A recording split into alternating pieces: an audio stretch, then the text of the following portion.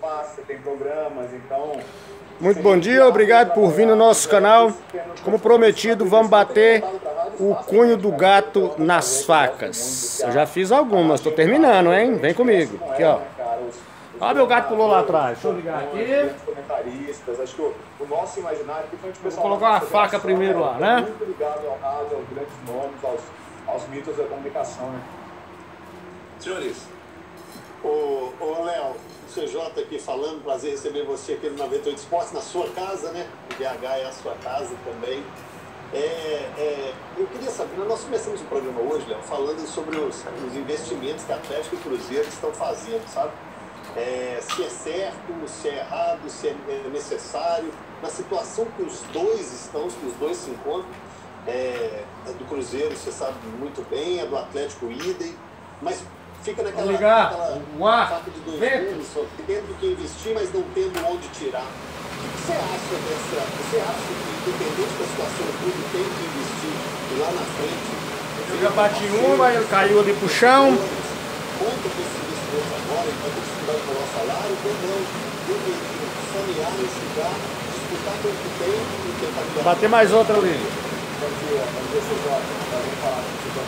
Eu acho o seguinte, né, é, a gente tem no Atlético, especialmente, um cenário político, onde a coisa já não é mais tão homogênea como foi durante boa parte da última década.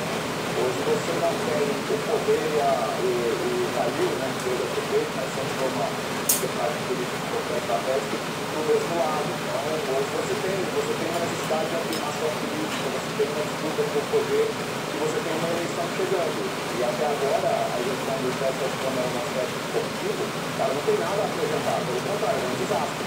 Troca de técnicos, muitas contratações fracassadas, uma promessa de autoridade que foi só no papel, que não se teria trazido mais um bom tempo para o gastava dinheiro estrangeiros que no passado, como o Lucas como o Rafael Martins, cara, você está tendo que colocar um time de transição hoje, você não consegue nem decidir o contrato direito, contrato de três anos para o Ricardo Oliveira, jogar até os 40, que claramente pela velocidade pode parar de jogar de uma hora para outra.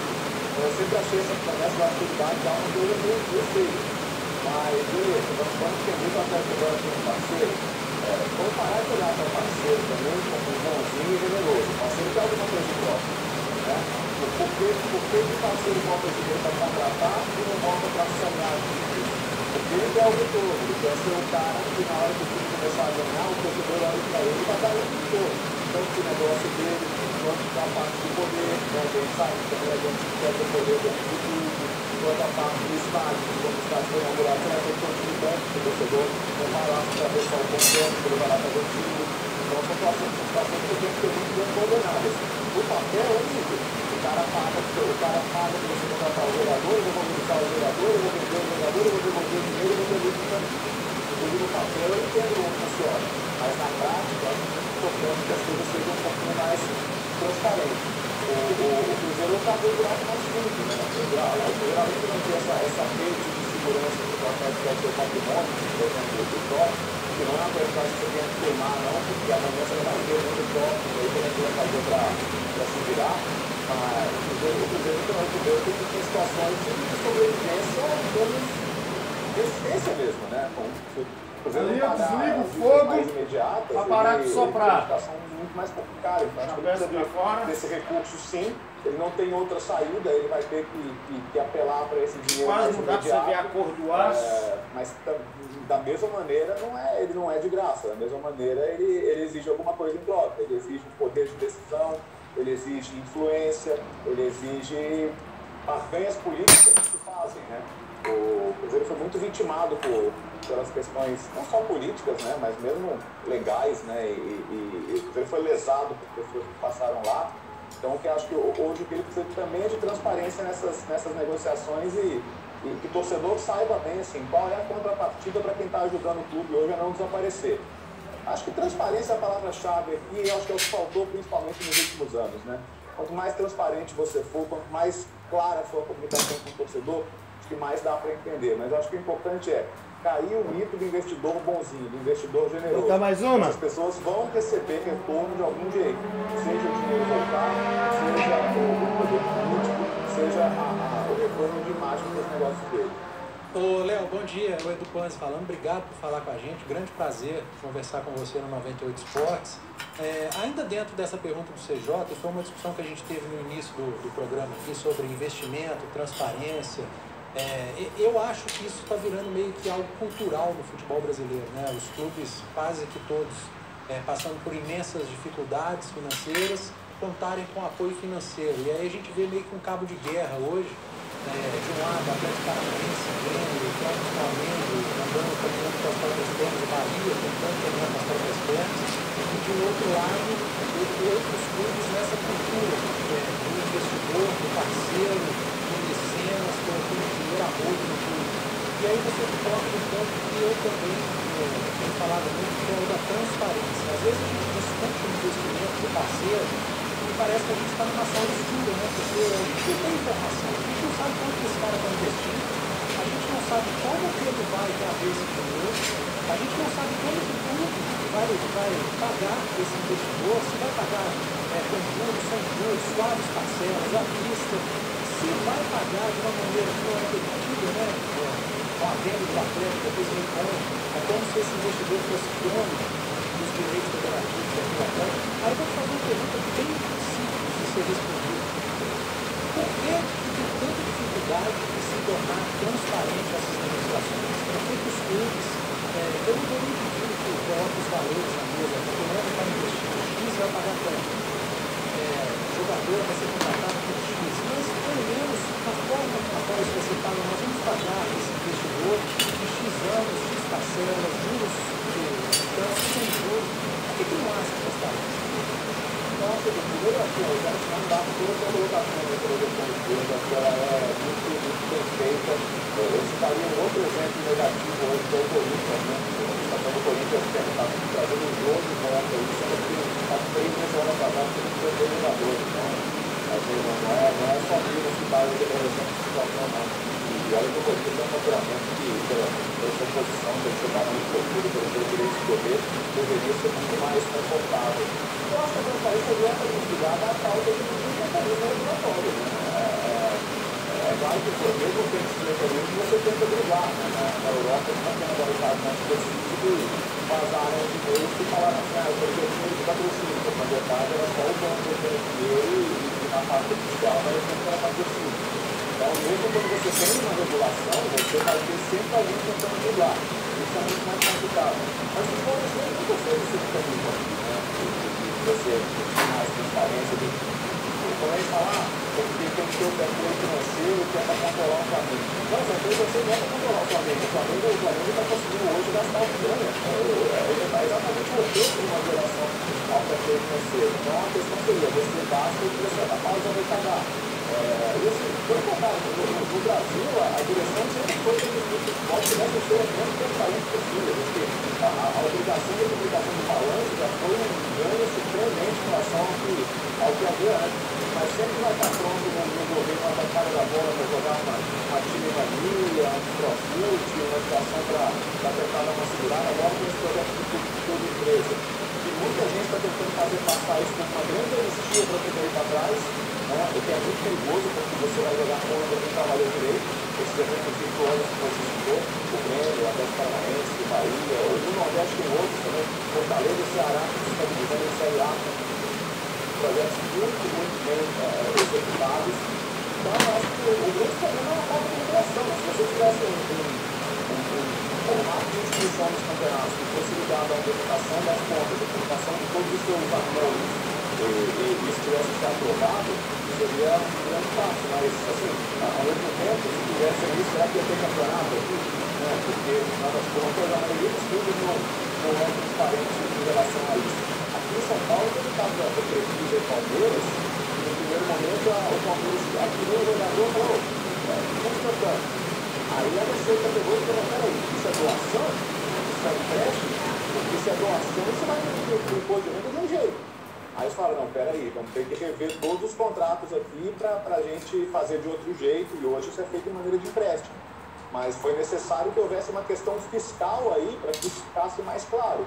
E, e, e, de certa maneira, sim, o Palmeiras hoje conta com isso, mas ao mesmo tempo fez o estádio, conseguiu sanear as dívidas, graças também a um mecenato, né? Porque o Paulo Nobre ele emprestou dinheiro praticamente de graça ao clube, que ao mesmo tempo fez uma boa gestão, mas também não foi uma coisa que caiu do céu. Outra vasilha então, de, tem muito disso, né? Essa de óleo. Do, do, do, Agora eu vou limpar, guardar, isso fica imerso em óleo. uma regulação mais clara em relação a eu isso. vou limpar as facas que eu...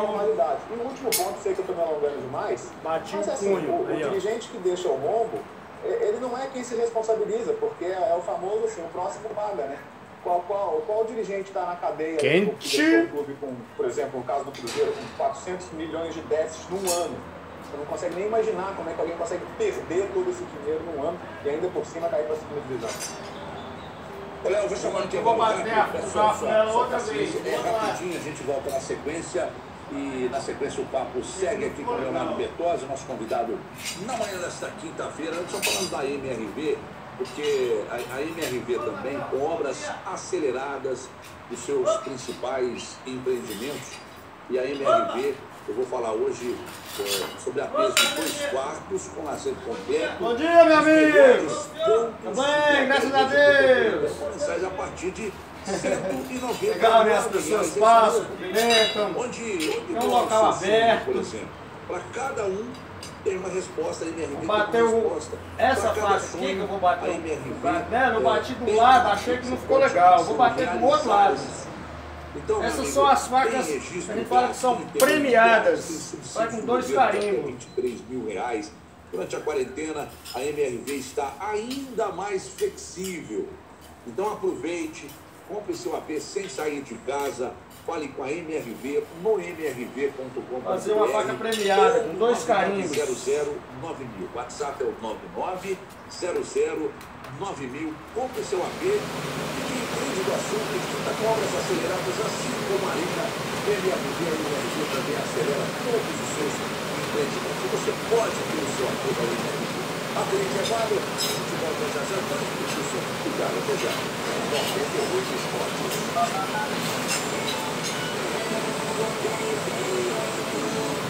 Só na Claro você tem o dobro de internet com 4.5G, até 10 vezes mais rápido, com acesso imperdível. 20 GB no combo monte para navegar muito. Só 10 GB no Play, só para curtir filmes e séries. Além de usar seus apps favoritos sem desfrutar nada da franquia. WhatsApp, Instagram, Facebook, Twitter, Waze, Claro Música. Você fala ilimitado e navega por apenas R$ 5,19,99 mês. Contrate sem sair de casa. Acesse claro.com.br ou ligue 0800 720 1224. Sai pra lá. Não quer saber de ação, não quer abraço, saber ação, não. Não é mal bom, não, gente. Aqui não pode, é perigoso no rodovia, hein? Vocês são doidos. 98, a sua rádio mesmo. Você tem dúvida sobre qual curso escolher? O bate-papo é aqui, onde a Celco lhe sabe é a escolha certa para você. Eu, Antônio Souza, converso com Daniele Ponte da Costa, coordenador de curso de administração da Unicelv. Na pauta, orientação profissional do mercado de trabalho. Bate-papo EAD Unicelv, sábado às 11h30 da manhã, aqui na 98 Live. Oferecimento com e cupom exclusivo turma. Acesse unicelv.com.br. A internet mais rápida do Brasil, seu celular é seu escritório. Dá para mandar áudio, e enviar fazer videoconferência com o chefe, resolver as coisas do banco. Você vai acabar gostando desse negócio de ficar em casa? Onde tem informação e conteúdo. Deixa o sol entrar. Claro.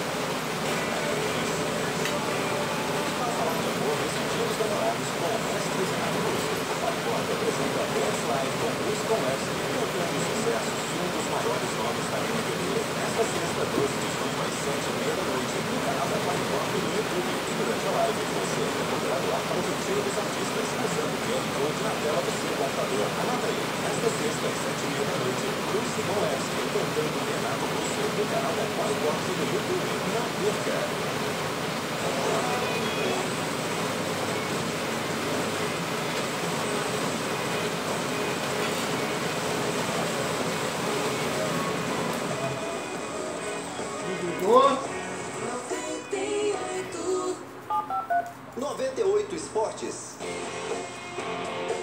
Estamos de volta 9h46, de volta com o nosso 98 Esportes, aqui com o Leonardo Bertossi, nosso convidado. Ô, ô Léo, a gente, a gente falou aí sobre essa questão da, da- das administrações do clube não serem transparentes. E, nós nunca iremos saber de tudo que acontece nessa relação entre o dirigente e, e seus parceiros comerciais. O Atlético tem BMG e, e, e MRV, o Cruzeiro tem os supermercados BH, é, o Palmeiras apagar o fogo. Cofisa, e aí vai. A gente nunca, de fato, vai ter acesso ao que é tratado. Os presidentes falam muito em transparência e Eu vou te mostrar. Acontece, nada é transparente. E conversando com dois diretores de futebol ah, nos últimos tempos, Eu ouvi deles de o novo para dar é. O clube que deve, não que eu esteja convencido que eles estejam certos, clube que deve precisa também contratar. Não tem como você, mesmo devendo, você fechando um, um- um exercício financeiro, por exemplo, de 2019, devendo, não há como você não contratar. Nós tivemos uma discussão ontem aqui no Arena, é, lá no Arena, no programa da noite, exatamente sobre isso. Quando você deve, como o Cruzeiro, por exemplo, está devendo, o Cruzeiro deve trazer um jogador como o Lucas Romero de volta. É um jogador que não ganha menos que, não vai ganhar no Cruzeiro menos que 150 mil, eu imagino. Ou você entende que, que, que, que não, que não, não deveria, deveria apostar em jogadores mais baratos, na casa de, sei lá, 50 Aqui, ó, 60 esse mil. cunho ele fica Esse guardado de dentro de uma vasilha de óleo. Na hora que eu bati ali, o óleo ele, o- ele espirrou e bateu na vasilha de óleo derramou. Eu fiz uma tragédia ali, vou ter que limpar. Mas eu vou encher de novo aqui, ó, pra ele ficar guardadinho dentro do óleo aqui, ó. Senão enferruja. É um aço muito duro. assim, acho que é óbvio que todo time tem que de contratar. demais. É, você tem menos direito a errar quando você já está já tá comprometendo aí uma situação financeira complicada. Então, assim, você tem que dar o tiro certo. Se- você vai trazer alguém agora para sair um pouquinho do seu teto, né, que está um pouquinho, que está claramente mais baixo, tem que ser esse, esse cara vai resolver o meu problema. Esse cara, por exemplo, eu preciso de um atacante que me faça 20 gols na Série B. É, é, Esse cara, assim, é, esse, cara, eu- esse cara eu preciso trazer, porque esse cara vai, vai me ajudar a subir. Como você disse, eu não posso não subir. E a Série B ela tem uma peculiaridade, né? Porque é muito difícil um time de garotos, só de garotos praticamente, subir na Série B. Claro que o Cruzeiro tem suas referências de experiência, tem, tem Fábio, tem Léo, tem jogadores que sabem o que é um vestiário do Cruzeiro, sabem o que é o Cruzeiro, vão ser muito importantes. Mas assim, não dá pra você pegar dois caras ve- veteranos e encher o time só de menino, porque é, ainda mais num- numa situação em que você vai ter um, um perda de manda no começo do campeonato. Tá aí, tá guardado, ter- então, ter que cair agora, protegido. Não é fácil, né, cara? Essa, Todo imerso Ela, ela sua em cara óleo. tempo, até você entender o que ela Vai ser guardado agora, Então, vai assim, ser acho usado de é, novo. eu Próxima vez que a gente não pode parar de contratar for para. Mas marcar a faca, você não pode apostar. marca. Você tem que ir no certo. Eu vou te mostrar Então, como é que essa marca aqui ficou. de é fundamental. Essa faca eu que marquei ela ser- dos dois lados, é porque um lado eu não achei que ficou legal. buscar. O que você tem que minimizar a má dinheiro, cara. Não, não dá pra você ficar As apostando. vamos ver ficaram. dá essa eu marquei dos dois lados. Aí que eu chamo de a faca premiada. Sai com duas marcas, de um lado e de outro.